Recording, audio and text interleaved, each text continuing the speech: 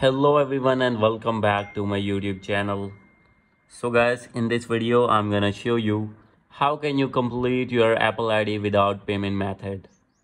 So guys, if you have create new Apple ID on your iPhone or iPad and want to complete your Apple ID without payment method, I'll help you. How can you do this? So let's get started without wasting any time. So guys, when you are say this option that is country or region, simply you have to select your own country and region so guys for example i am going to select united states here. And after this you have to wait for more seconds here. And guys now you have to click on agree with terms and conditions so guys simply you have to accept terms and conditions of apple media on your iphone or ipad.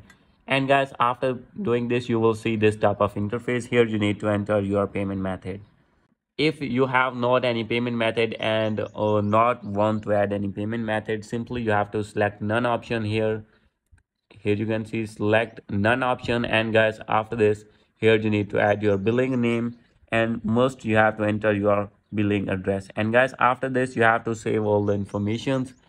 And guys after selecting this none option there is no need to add payment method to complete your payment method to complete your apple id so guys this is the easiest way to fix your problem. Hope you like this video. If you like this video please do subscribe my channel. Thank you